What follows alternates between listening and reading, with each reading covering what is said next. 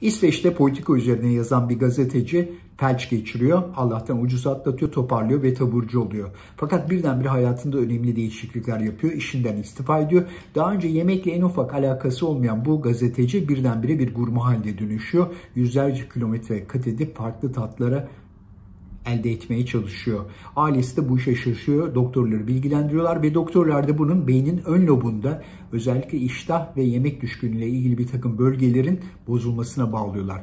Buna benzer bir olayda bir maraton koşusunda meydana geliyor. Maraton koşusunda bu bölgeyle ilgili bir travma geçirdikten sonra birdenbire bir gurme yazarı haline dönüşüyor. Kitaplar yazıyor ve 50 kilo alıyor.